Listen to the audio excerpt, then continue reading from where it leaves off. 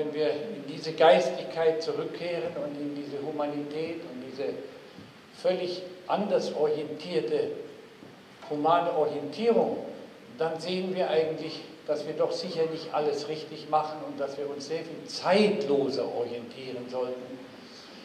Zurück zum Menschen, zurück zum Humanismus, zurück zur Idealität, zurück zum Kreativen, zurück zur inneren Freiheit und vor allem zurück zur Individualität. Und die Kulturen, die keine Grenzen kennen, die Musik, die keine Grenzen kennt, das heißt, alles ist offen, speziell in unserer klein gewordenen Welt, sollte eigentlich auch in unserem inneren Wesen alle Grenzen, die wir haben und mit der wir kämpfen und die Fronten bilden, abbauen und einfach nach vorn mit einem offenen Gedanken und einer offenen Attitüde die ganzen Probleme und auch die Aufgaben unserer Zeit mit sehr viel mehr